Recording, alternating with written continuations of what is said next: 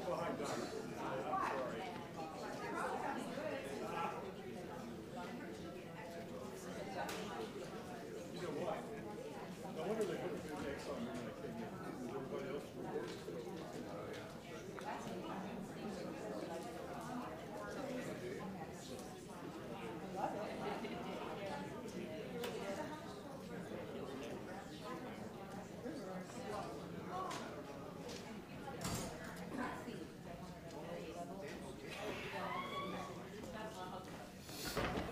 Good afternoon, and welcome to the William G. McGowan Theater here at the National Archives. I'm David Ferriero, the Archivist of the United States, and I'm pleased you could join us today, whether you're here in the theater or joining us through Facebook or YouTube.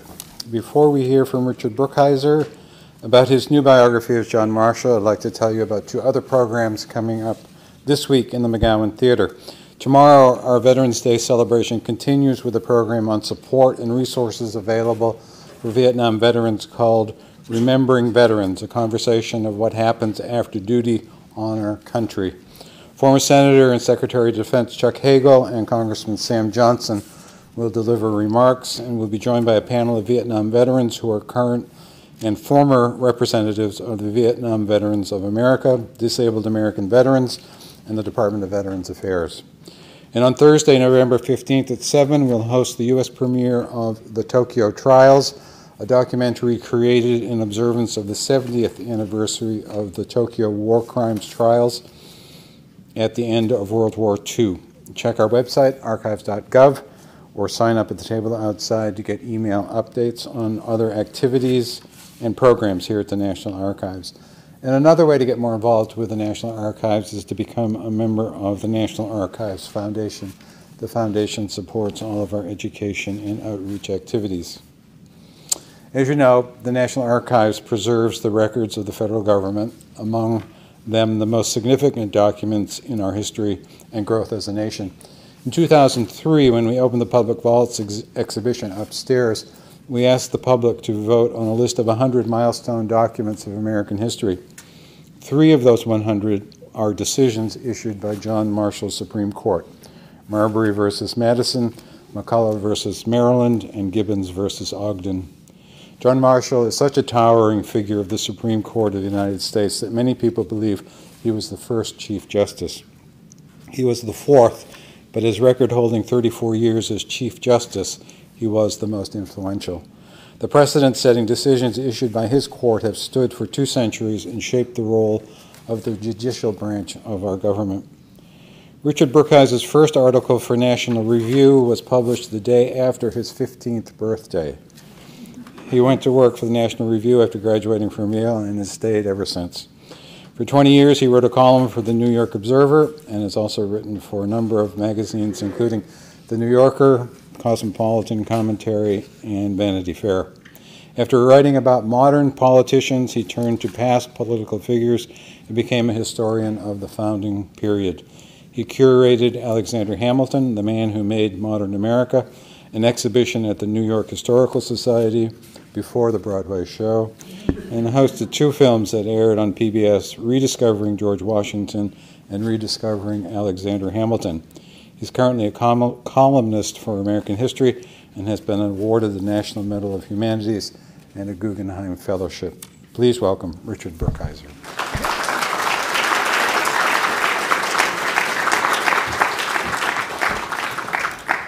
Thank you for that introduction. Thank you for coming out. Uh, book publicity is pretty hectic. I was uh, in Richmond yesterday, and I realized when I was flying to New York on Sunday, about halfway down, I'd forgot to pack my blazer. Uh, but I'm doing better than John Marshall, who the first time he served as a circuit court judge, which is something justices of the Supreme Court did till after the Civil War. He had to go to Raleigh and he forgot to pack a pair of pants. Uh, when he got to Raleigh, the local tailors were too busy to supply his lack, so he uh, did his duties covered only in his judicial robe. So I've spared you that. Uh, about two months ago, a friend asked me if I had paid Justice Kennedy to retire in order to publicize my book. And of course, I had, I had no idea that we'd have the Kavanaugh hearings. But I knew the Supreme Court would be in the news. I knew there'd be some decision that would be in the news, possibly a personnel change that would be in the news. The Supreme Court is always in the news. And the man who first put it there was the fourth Chief Justice, John Marshall. So today what I want to do is talk a little bit about who he was, uh, talk about how he accomplished this, how he raised the prestige of the court. I want to look at two of his great decisive cases and then survey some of the criticisms that were made of him during his lifetime and afterwards.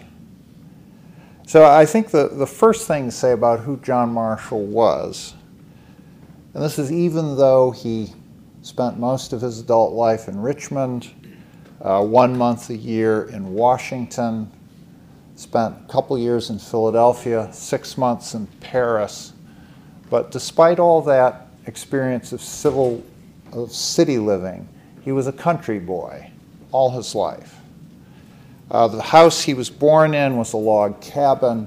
The second house he grew up in was a frame house. The third had glass in the windows.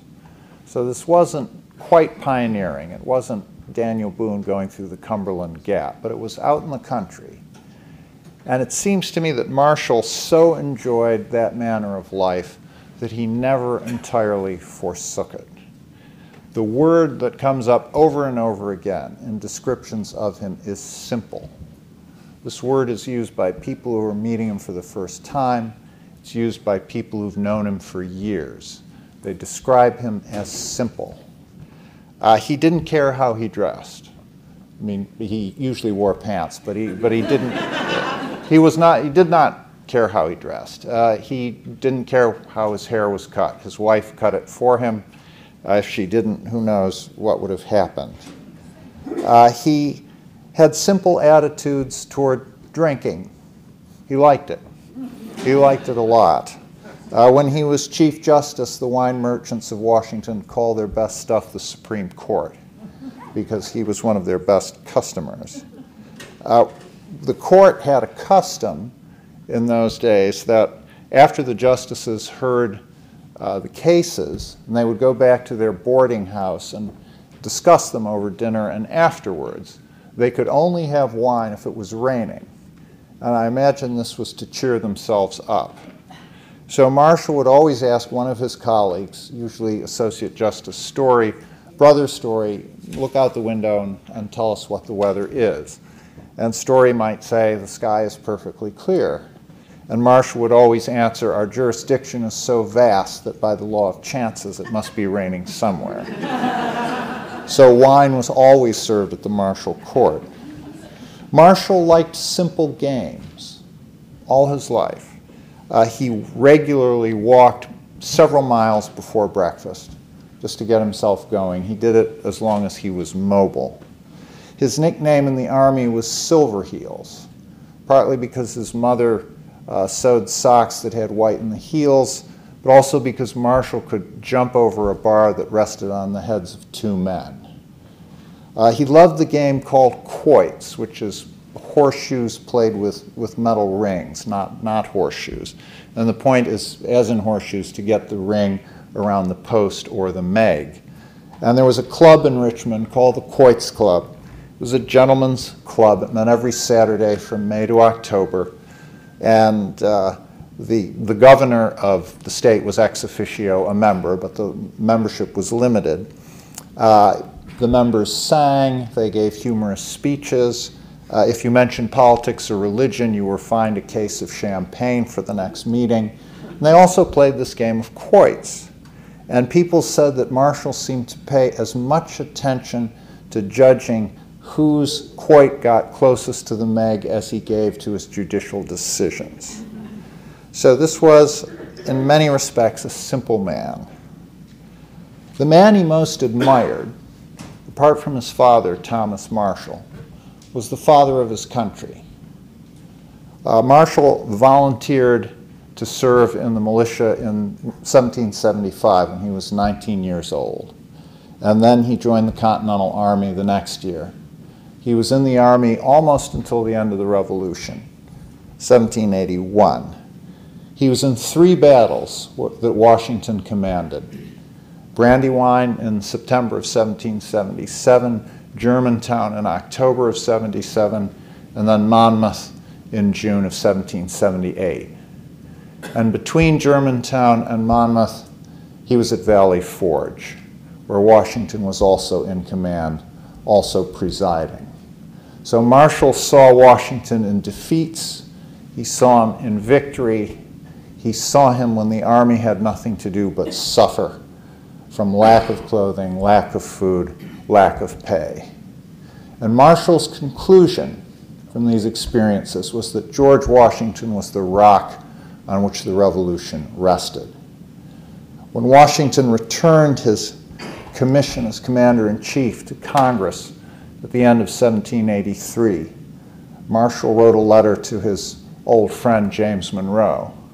And he said, At length, the military career of the greatest man on earth is closed. May happiness attend him wherever he goes. When I think of that superior man, my full heart overflows with gratitude. Marshall didn't just admire him as a military leader, he agreed with Washington's diagnosis of the political problems that had made the war so difficult for the Army. The form of government that the independent America first had, the Articles of Confederation, was inadequate to its task. It didn't give the government uh, the power or the energy to do the things that it had to do. So when reform was necessary, when the Constitutional Convention met in 1787, presided over by Washington, signed by Washington, Marshall follows him once again. He's a delegate to the Virginia Ratifying Convention in 1788. Uh, he gives several speeches there, one on the judiciary. He is a partisan of ratifying the Constitution.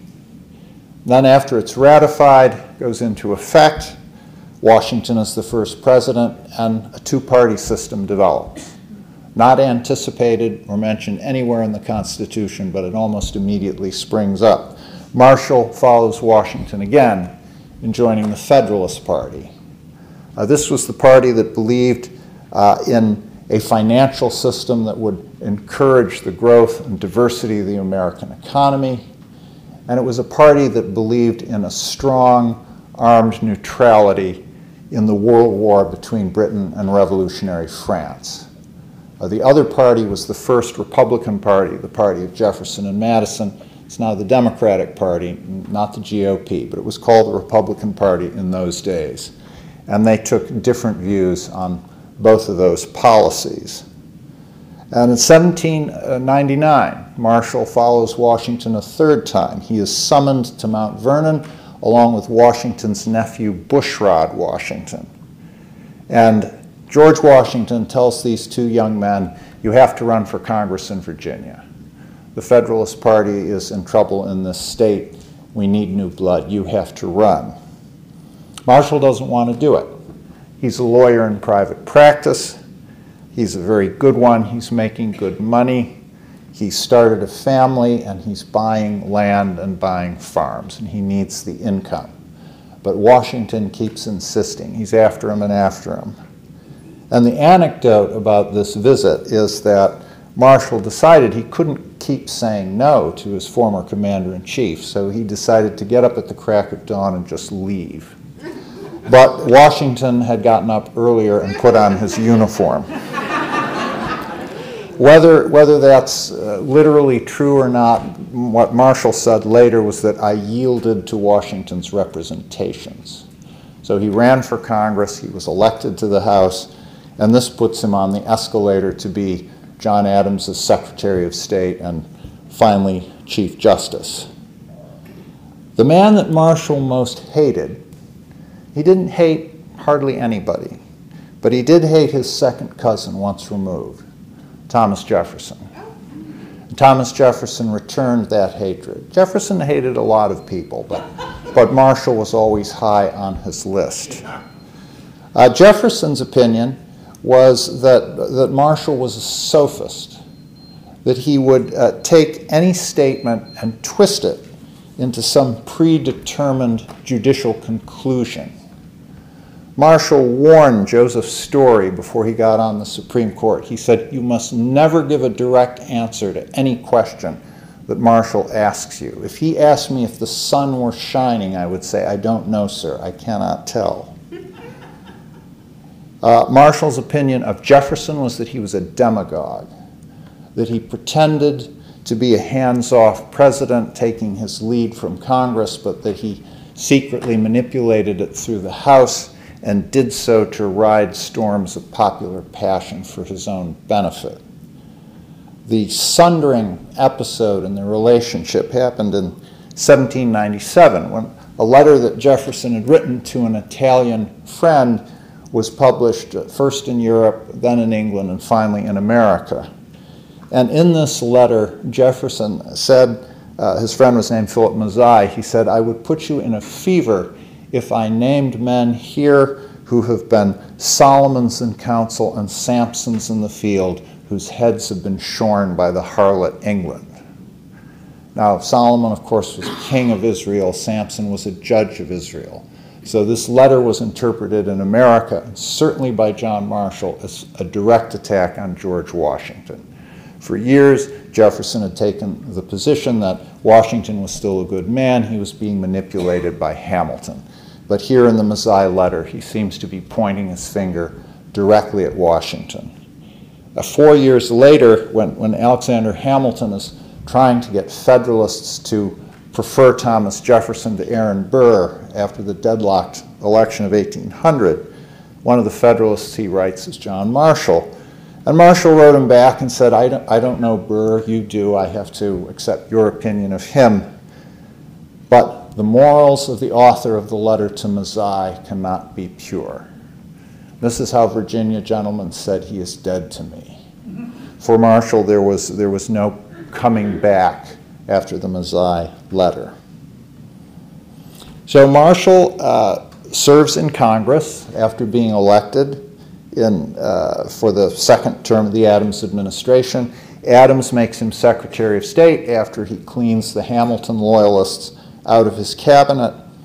And then at the end of his administration, the lame duck end of it, because Adams has lost the election of 1800, this is his rematch with Thomas Jefferson. He'd narrowly beaten Jefferson in 1796, but Jefferson beats him rather solidly in 1800.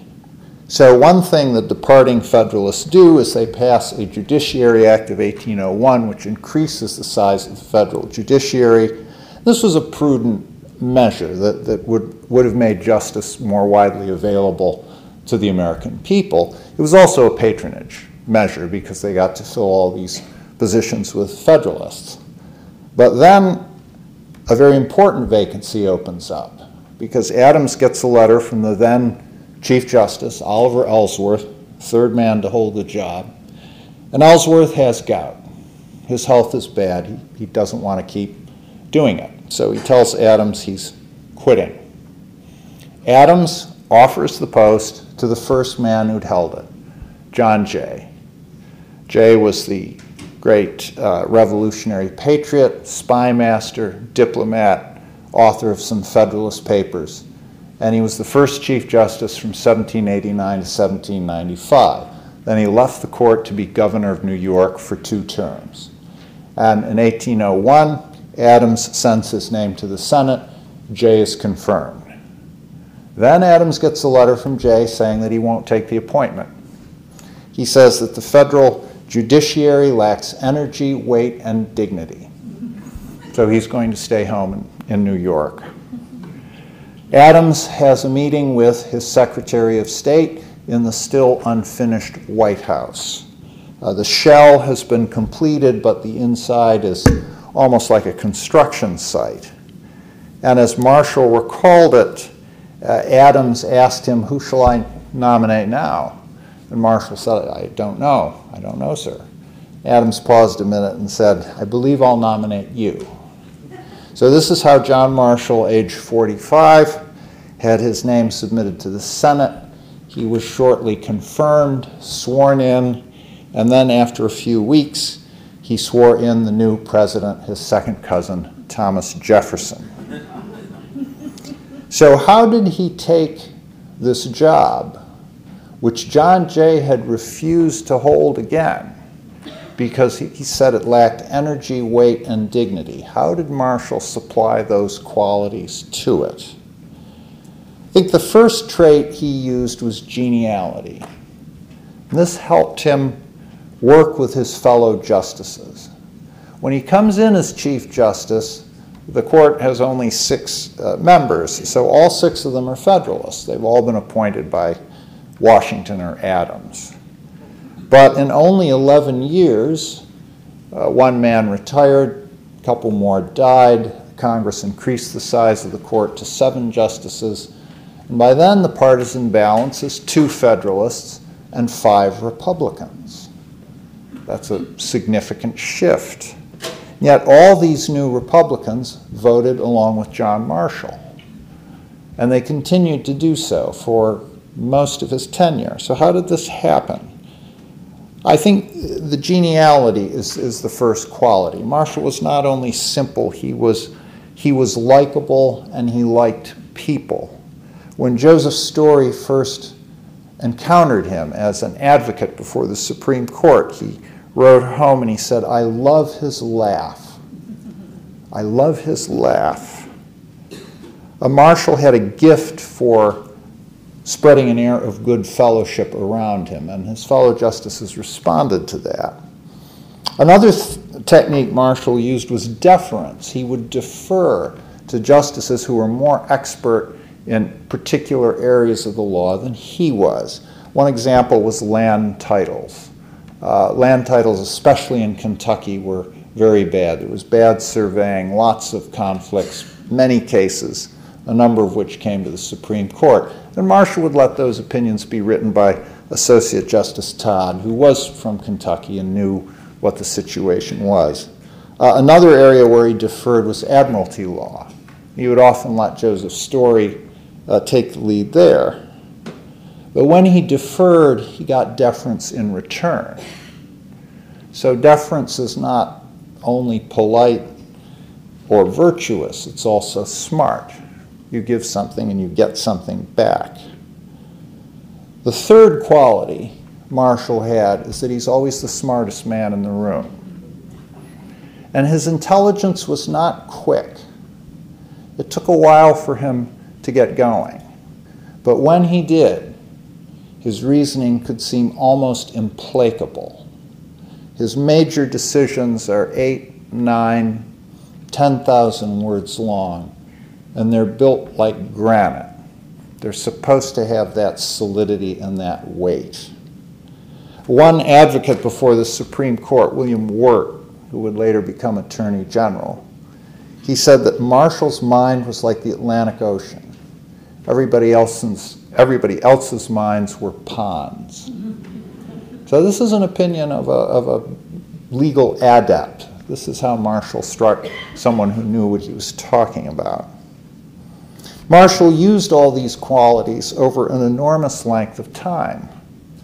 Uh, his idol, George Washington, was commander in chief for eight and a half years and then president for eight. So he's, in effect, he's the chief executive of the country either in, in reality or formally for 16 and a half years. Marshall is Chief Justice for 34 years, twice as long.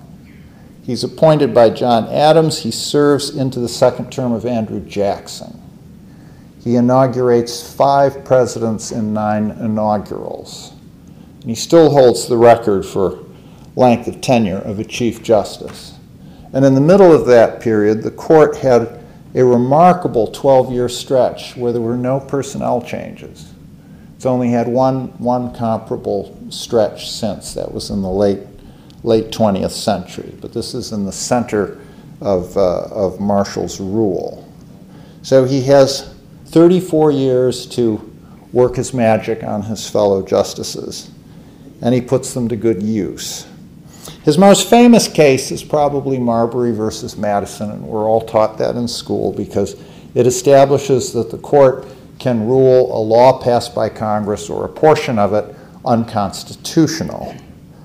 I think, well, it's true that that's what Marbury did. I don't think that was news when it happened. Uh, the concept of judicial review was already out there. It was not something that Marshall created. Alexander Hamilton had written about it in the Federalist Papers. Marshall himself had spoken about it in his speech on the judiciary at the Virginia Ratifying Convention. Uh, this was a familiar concept. What was most striking at the time about Marbury, it's a 9,000 word decision, and about 8,500 words of it is a lecture to the Jefferson administration. it's, it's telling them, you, you thought we were the bad guys, and you said you would be the good guys who do everything right, but you have done wrong by William Marbury. He deserved his commission, and you didn't give it to him. Now, he's not going to get it because the uh, form of redress he's seeking is a portion of the Judiciary Act of 1789, which is in fact unconstitutional, but still shame on you. Many of his decisions had to do with supremacy, the supremacy of the federal judiciary over state courts. Uh, Dartmouth v. Woodward, McCulloch v. Maryland, Cohens v. Virginia, Osborn v. Second Bank of the United States. Uh, what Marshall is, is contending with there is what Alexander Hamilton and the Federalist had, had called a hydra in government. He said 13 courts, different courts of final appeal would be a hydra. And the hydra, of course, was the monster that had many heads on many necks, and if you tried to cut one off, two more would grow. And Hercules only kills it by burning the stubs of the necks as he cuts the heads off. So, so this is what Marshall is trying to do. He's trying to be Hercules in the judicial realm and make sure that the states are not themselves the final courts of appeal. But today I want to focus on, on two other decisions, one having to do with contracts and one having to do with commerce. The first is Fletcher versus Peck. This was in 1810. It had to do with a land sale that the state of Georgia had made in the 1790s.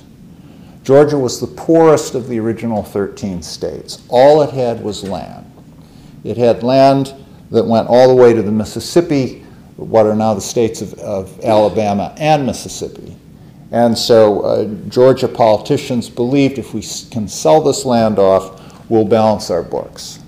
So in 1794, they sold 35 million acres for a penny and a half an acre. Every single legislature lator had been bribed. The going price was $1,000. One man had um, sold his vote for only $600. He explained that he wasn't greedy. Uh, the, the purchasers of this tract, it was called the Yazoo Tract because there's a river, the Yazoo River, that flows into the Mississippi on the western end of it. So Yazoo was the name for the whole chunk. They weren't intending to move to the Yazoo River. They, they were intending to flip their uh, purchases for a profit. This is a very old American thing, you know, buying real estate and flipping it. And that's what they immediately did. They flipped it to sellers who, in turn, expected to flip it for profits of their own. But while this was going on, uh, the state of Georgia had a new election. All the corrupt legislators were turned out of office uh, and the new crop uh, wrote a repeal act which nullified the sale and also forbade it from being litigated in Georgia courts. They established a penalty that any Georgia state employee who so much as referred to it would be fined $1,000. Uh, they stipulated that the act be burned in the public square of the state capitol and when, when uh, the fire was about to be lit, supposedly an old man stepped out of the crowd and said that the fruits of corruption should be burned by fire from heaven. So he took a magnifying glass out of his jacket and held it up to the sun, and that's how the original Yazoo sale was ignited. But meanwhile, the purchasers had resold and there were new purchasers, and they wanted to know what was the legal status of this land they've just bought. So they consulted one of the best lawyers in the country, Alexander Hamilton, who was no longer at the Treasury Department. He was in private practice in New York. And he wrote a trim little 500 word opinion in which he said that if this goes to court, the courts will probably rule, according to the contract clause of the Constitution, that the original sale was a contract and states may not impair it. This is according to Article 1, Section 10, which prevents the states from impairing the obligation of contract. And Hamilton's opinion was published in a pamphlet in 1795 or 96. So this, uh, this state of affairs went on for a number of years. The Yazoo purchasers tried to get relief from Congress, uh, where, where all relief measures were blocked. So they turned to the courts in the 1800s. There was, but how, how, were they, how were they going to do it? They couldn't go to a Georgia court. Georgia had blocked that option. Citizens of other states could not sue the state of Georgia because the 11th Amendment forbade that. That was the First Amendment after the first 10. Uh, it was passed very rapidly, only, only two years, and it forbade citizens of other states from suing a state not their own in court. But if two citizens of different states are involved in a lawsuit, that is a matter for federal jurisdiction. So, Robert Fletcher of New Hampshire sued John Peck of Massachusetts. Peck had sold him some Yazoo land for $3,000. And Fletcher went to court to say, You don't legitimately own this because the Repeal Act has nullified the original sale. I want my $3,000 back. This case rose to the Supreme Court in 1809, but there was a technical problem with one of the uh, appeals, so it was re argued in 1810. And Marshall wrote the decision. And his decision is essentially an expanded version of Alexander Hamilton's opinion of 1795. Marshall says that the Repeal Act impairs the obligation of contract. The original sale was a contract, and Georgia is trying to impair it, and this is unconstitutional. He, all, he says it in a very audacious way. He says that Article 1, Section 10 is a Bill of Rights for the people of each state. Now, we think the Bill of Rights and at the time, the Bill of Rights was thought of as the first 10 amendments, you know, protecting freedom of speech, freedom of the press, right to keep and bear arms, no warrantless searches. That's what we think of as the Bill of Rights. But Marshall's saying, no, before the first 10 amendments, there was already a Bill of Rights in the Constitution. And that was Article 1, Section 10 which forbids the states from impairing the obligations of contracts. This is how important Marshall thought contracts were. He wanted to instill a sense of discipline on the American people. If you sign on the dotted line, if you put it down in black and white, you've got to do it. And you can't count on some legislature at a later date to save your bacon. Or you, you need not fear that your contract will be nullified by, by state politicians later on. So he is, he is trying to secure the ability of Americans to contract with each other. In 1824, there's a second case having to do with commerce. And this is uh, Gibbons versus Ogden. It's known as the steamboat case. Now, steamboats were invented several different times at the end of the 18th and early 19th century. Uh, several people figured out how to take a Watt steam engine, which was a new innovation, and put it on a boat and convert its power into a mechanism that would turn a paddle wheel. Uh, one of these inventors was Robert Fulton, and he demonstrated his first boat on the Seine in France. And one of the spectators was the American minister to France, Robert Livingston. Uh, several earlier steamboat inventors had failed because they'd lacked the money. Livingston was a wealthy New York grandee. When he saw Fulton's steamboat, uh, he thought this is it. He would become a backer of Fulton. So you had the boat, you had the money, but the third thing that you needed was political protection. This is something that Livingston could also arrange because he knew everybody in the state of New York. So in 1808, New York granted him and Fulton a monopoly on steamboats in New York waters for 30 years. In 1811, they added that if the monopolists were sued, the steamboats of, of those who were suing them would be impounded while litigation proceeded. So that's a nice extra guarantee. And they, the competition sprung up immediately. Um, people saw how this worked. They built their own boats. Uh, they took the monopoly to court. Uh, New York's Supreme Court upheld the monopoly. Another thing the monopoly did was it bought off the competition. There were some businessmen in Albany who had two boats, and so the monopoly said, all right, we'll give you Lake Champlain, but we're going to keep the Hudson River and New York Harbor and Long Island Sound. Another competitor they bought off was a New Jersey man, Aaron Ogden, who was running a boat from Elizabeth, New Jersey into Staten Island.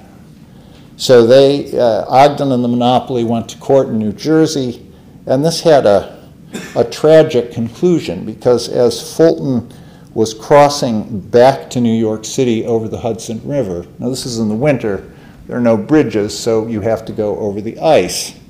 And Fulton's lawyer, Thomas Addis Emmet, fell through the ice into the Hudson.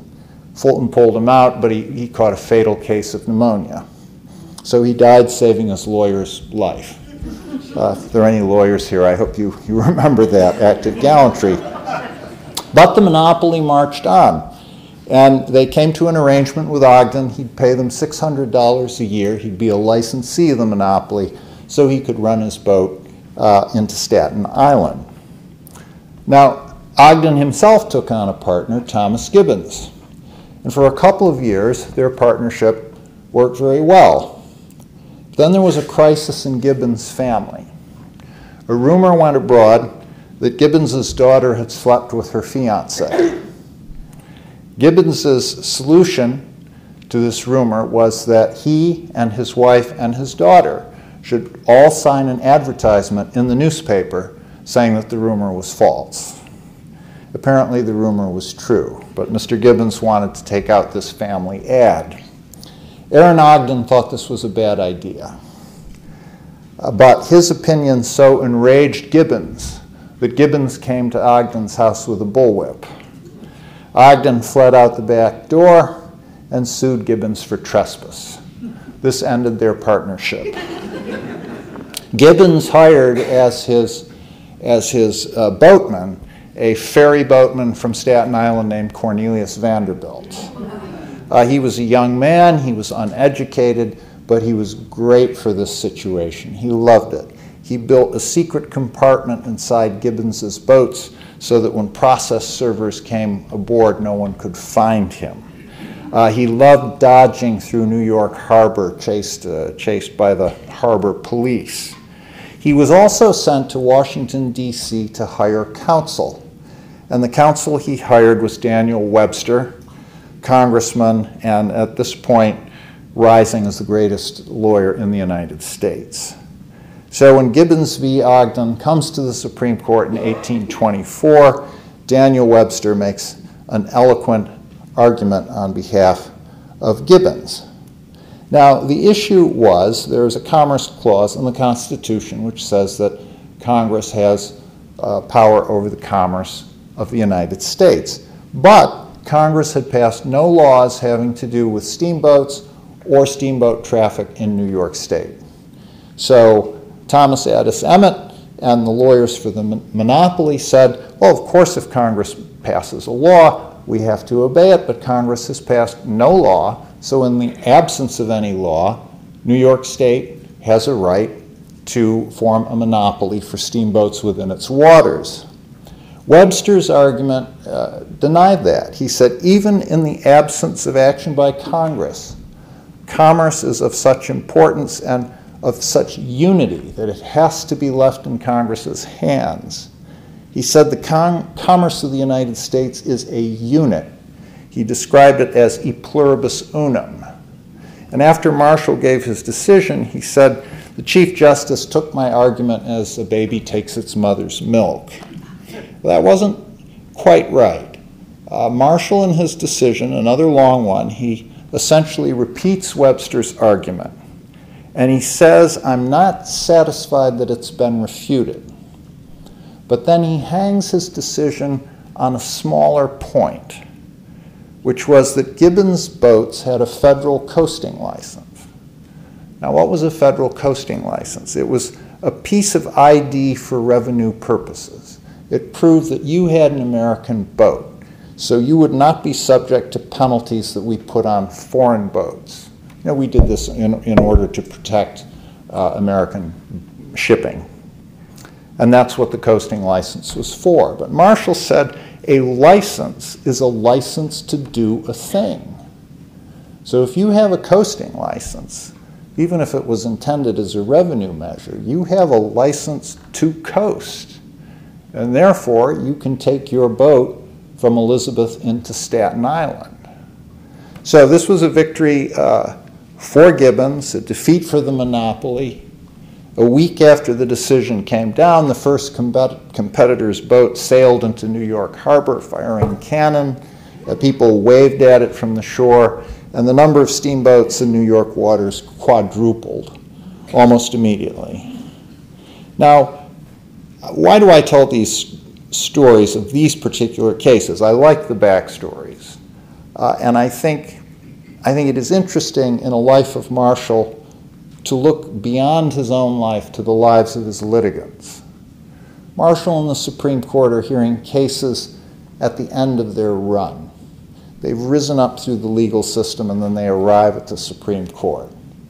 But at the beginning, when they're first brought to court, and even before that, there's a long story of people wanting something, people fearing something, people entangled, and to try and resolve that, they go to court. So I think it's important for us to look back and see why these Americans are bringing their problems into court. But the other reason uh, that I focus on these particular cases is that they establish the armature for the American economic system. You know, when we think of founding fathers who were responsible for our economic system, we mostly think of Alexander Hamilton, particularly after the musical. Uh, and, you know, rightly so. And, and I, I, like the musical, I'm a fan. And, and he certainly deserves all that credit. But his plans and his achievements had to have legal support as well. And in Marshall's contract law decisions and in his commerce decision, even though Gibbons versus Ogden is a little a, little uh, reserved. There's a little that little twist in it. Uh, he he lays the legal support for a national market in which people are free to contract with each other. And it's a system that, that we still have, despite uh, many modifications and criticisms of it. Marshall himself took a lot of criticism in his career and after. His most uh, industrious enemy was Jefferson. Not so much in public, but in letters that he wrote. Jefferson spent his presidency and his retirement years fretting about Marshall decisions. Uh, he called Marshall's reasoning twistifications. He compared his decisions to the eels of the law. He said he hangs inference upon inference like Jacob's ladder. And he tried at the end of his life to suggest an alternative. He said, these questions should not rest with the Supreme Court. If it's a constitutional question, it should be resolved in a constitutional convention. That should be the mechanism by which these questions are decided. And he, he ran this idea past his, his, his protege and his right hand, James Madison. And then Madison did what, what he so often did with his beloved elder. He, he was like the man holding the, the guy rope to the dirigible, and he, you know, he just gave it a little earth, earthly tug, and he said, you know, a series of constitutional conventions would be tardy, troublesome, and expensive. And Jefferson never, never made this proposal publicly. Uh, another Jeffersonian who did make public proposals was uh, Senator Richard Johnson. Uh, he's most famous for having killed Tecumseh at the Battle of the Thames in the War of 1812. He's probably second most famous for his campaign jingle, Ripsy, Rampsy, Rumsy, Dumpsy, I Dick Johnson killed Tecumseh.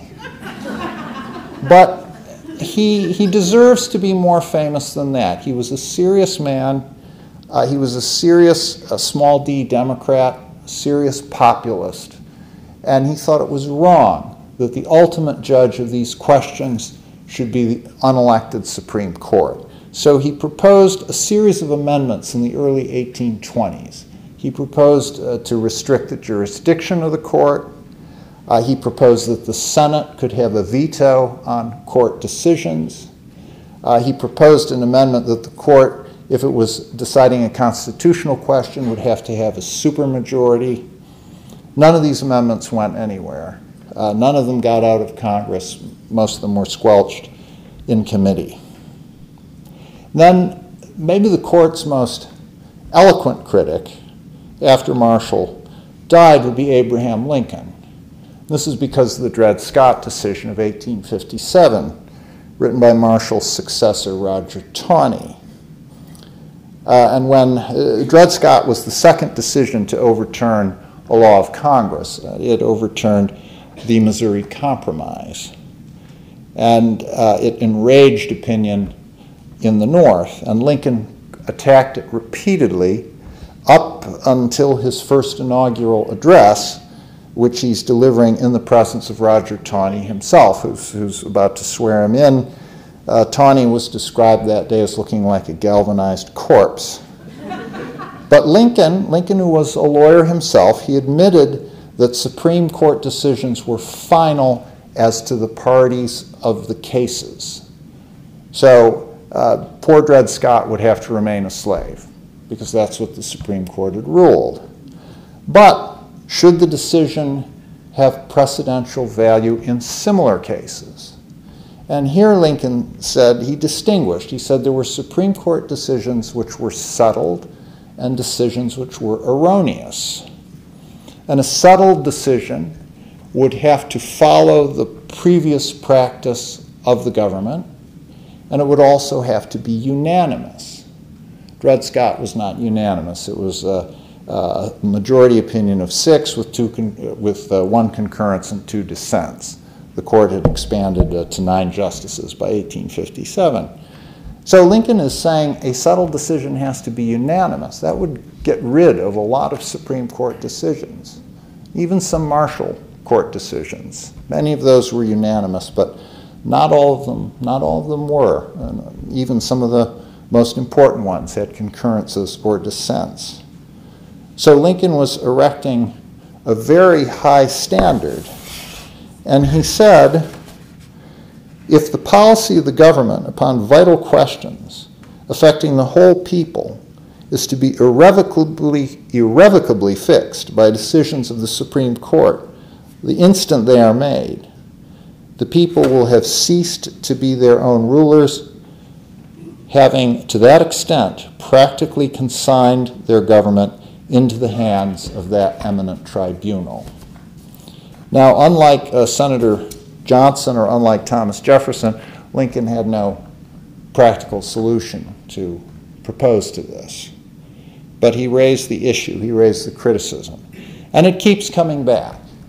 I mean, whenever some party or large group of people is unhappy with the Supreme Court, we hear of plans to restrict it, either to restrict its jurisdiction, um, more, more recently to pack it. No one has suggested a Senate veto recently, although uh, Professor Mark Tushnet at Harvard uh, has been talking in those terms for a number of years. So this is an ongoing question about John Marshall's legacy. Marshall himself dies in 1835, I think a disappointed man. I, th- I think he feared that he had failed. He was losing his control of the court in the last few years. Uh, new judges, more difficult to influence or be led. Uh, he was also very disappointed with the election and re-election of Andrew Jackson. If Jackson had not been elected, re-elected in 1832, I think Marshall uh, would have retired in the hope that the new president would have promoted Justice Story to be Chief Justice. But Jackson won re-election, so Marshall uh, stayed on until he died. And uh, Jackson's uh, statement on Marshall's death was surprisingly gracious, much more gracious than anything that Marshall and Jefferson ever said of each other. But the most gracious tribute to Marshall came from Richmond, and it came from the Quoits Club. And they ruled that because he was irreplaceable, the club should have one fewer member forever after. So thank you very much, and I'll take questions now.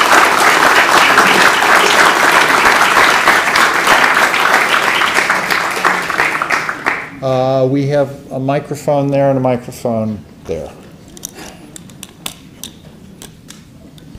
Hi, Yes. My question is about the institution of slavery. And uh, John Marshall was, could you explain his personal life as having been, having owned slaves and? And how he ruled. And how, he- yes. and- And um, if, if perchance, if, if he, my guess is that he was chosen because there were other Southern Supreme Court justices on the court at the time, the small, the small Rs or the Republicans versus the Federalists, and that's why he was chosen versus John Jay, who was a very strong Federalist who would probably be op- opposing the, the Southern Republicans quite a lot. If, if, and if John Jay, who was an abolitionist. Right, yes, If he yes. had, if he had uh, been chosen, this- if he had s- stayed, I mean, if he Right, had decided to sure. become the Supreme Court justice. Sure. Um, versus, Well, and Jay lived a long John. time. He lived until uh, 1828 or 9, uh, and, and he was, as you say, an abolitionist.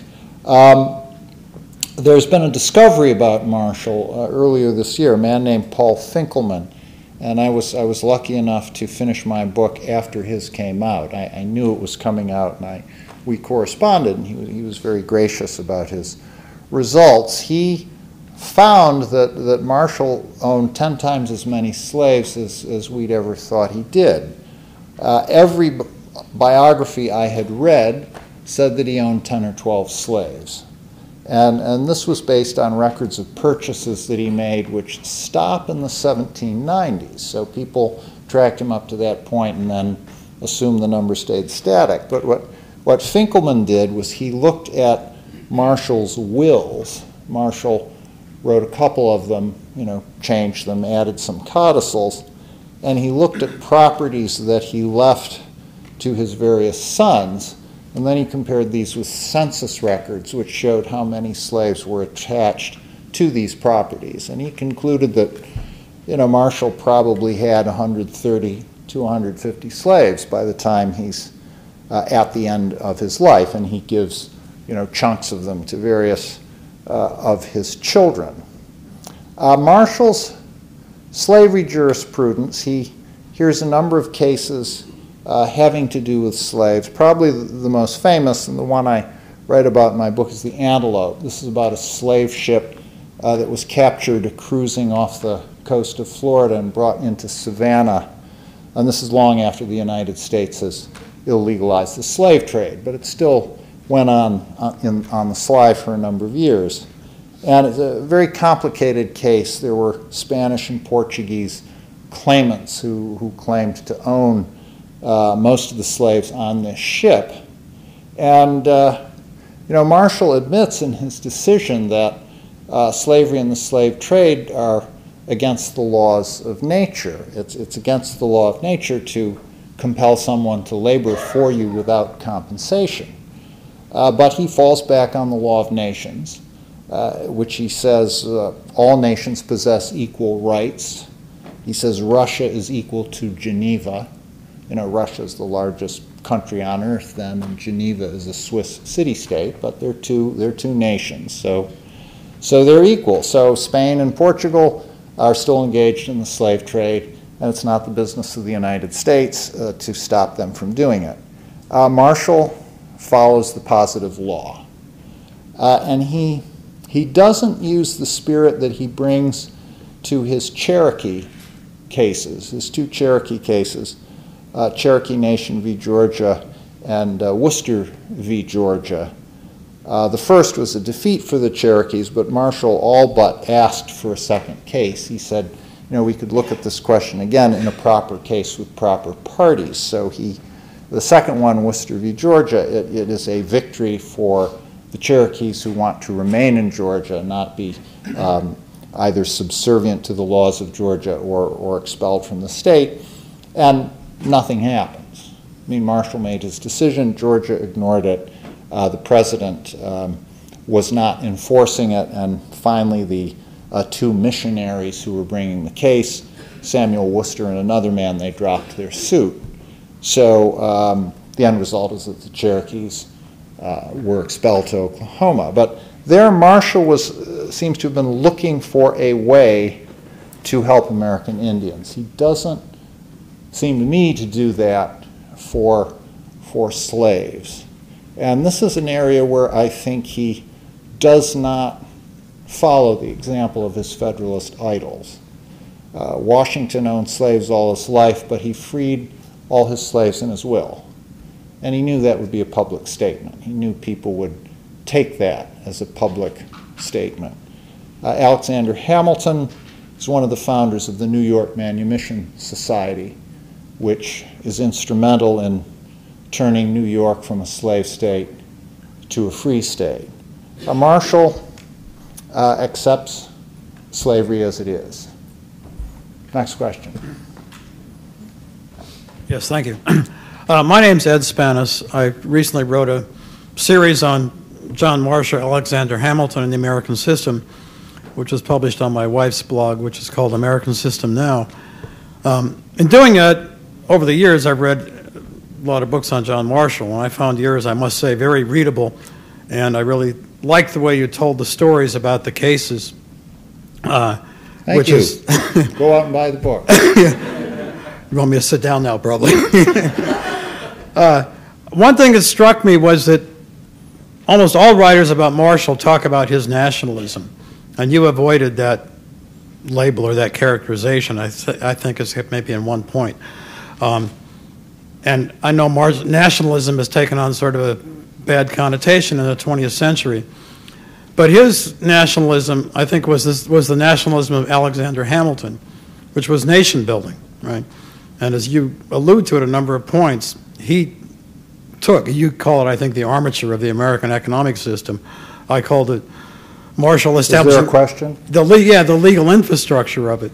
Um, I know you've studied both men. Can you say anything more, I'm sure you can, about the relationship between Hamilton and Marshall? Well, um, they may have met as early as Valley Forge. Uh, they were both there. Uh, certainly, they're corresponding by the 1790s uh, when Marshall comes to write his biography of George Washington. It's the only book he ever writes.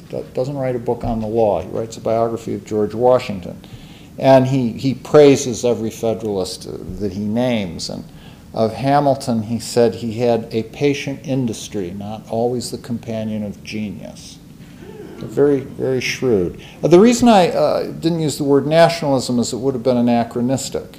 I mean, I, I agree with you that I think there was, there was national sentiment there and something that we would call nationalism, but it just wasn't a word uh, that Hamilton or Marshall used. So that's the only reason I didn't use it. Uh, next question. Thank you so much for your extraordinary remarks. Um, I look forward to reading your book. Great. The um, Marbury versus Madison case has been settled law, although when Justice Scalia at his confirmation hearings was asked uh, about his opinion, he declined to comment on the case. Um, and there has been Tushnet, as you said, uh, at Harvard, from the leftist perspective, has taken uh, a more restrictive perspective. There's been issues between conservatives, originalists, textualists, critical legal theorists. uh, and libertarians on whether or not Marshall's opinion was in fact supported by the text of Article 3, uh, because it was, again, not um, its inherent power as opposed to textual power. He makes the decision in Marbury using a lot of dicta, talking, and as you said, to Jefferson and his administration about what should have been done with Marbury, but then on the basis of jurisdiction in the statute says it's not a case of original jurisdiction finding the, the statute unconstitutional.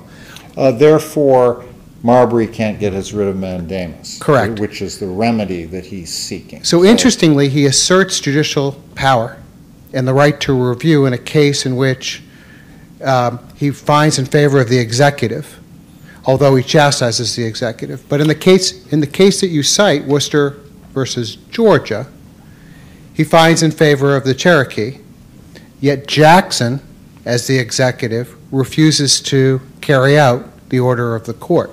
That's right. Well, but the court, okay, he made his decision, and it was, the decision was that treaties with Indians are the responsibility of the federal government, not the states. Correct. The federal government made a treaty with the Cherokees granting them this land, and it's not the place of Georgia to interfere with those arrangements. Now, Georgia had no intention of obeying this decision, and Jackson is supposed to have said, Mr. Marshall's made his decision, let him enforce it. That's probably apocryphal. It's like recorded 30 years afterwards. But he did say in a letter to a friend of his that Marshall's decision has fallen stillborn. Now, we're missing the last act because the next step would have been that the imprisoned missionaries who were suing the state of Georgia would then have asked their lawyer to notify the court that the decision had not been put into effect. And then you would have had the clash between the president and the court. What would have happened? Would Jackson have defied the court? Or if he had gone along with the court, now the politics of this, remember, at the same time that this is all going on, South Carolina has nullified the tariff. And Jackson is contemplating a force bill, a bill to allow him to collect the tariff in South Carolina by force if they keep this up. If he follows the court and moves against Georgia, will Georgia join South Carolina in the resistance? And will Mississippi and Alabama also do it because they have Choctaws and Chickasaws who are also at risk of being moved beyond the Mississippi and they they want them out of there. The white governments of those states want them out of there. So Jackson is trying to prevent this local defiance in South Carolina from spreading to three other states. This is the political crisis, and the missionaries, the backers of the missionaries, the American um, Missionary Board, which was the Congregationalist group that employed them, they told these guys in prison, they said, look, uh, the unity of the country is at stake here. You should drop your suit, and they did.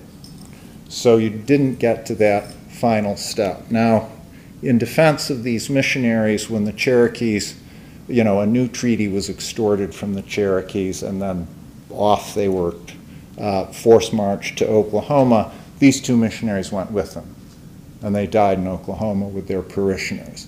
So they dropped their suit, but, but they were loyal to their parishioners. Okay, that's, uh, that's all we have time for, but thank you very much for, for coming.